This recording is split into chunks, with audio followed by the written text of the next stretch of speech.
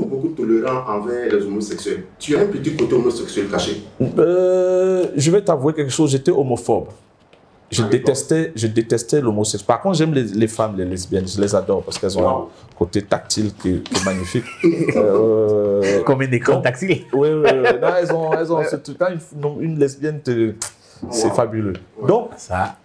quand j'ai commencé à rentrer dans les hautes sphères du showbiz, euh, j'ai commencé à être moins homophobe. Disons, à annuler même le mot homophobe parce que tu te rendais compte que ta vie professionnelle passait par des gens qui l'étaient et euh, le fait de, de les frustrer euh, te faisait perdre le business. J'ai été le cas Nostalgie Moi, je n'ai jamais été approché sexuellement à Nostalgie. Je suis entré parce qu'il y a un casting.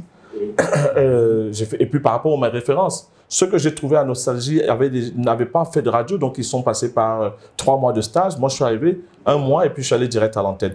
On m'a jamais fait de, de proposition homosexuelle à Nostalgie. Au début, tu ne supportais pas les homosexuels? Avant, oui. Avant, oui. Mais maintenant, tant qu'ils ne me regardent pas, on est amis. Suivez l'émission Fafa avec le célèbre animateur Yves Dembella. Vous saurez tout ce qu'il cache ce samedi 24 avril 2021 à partir de 12h. Rediffusion le dimanche à 17h.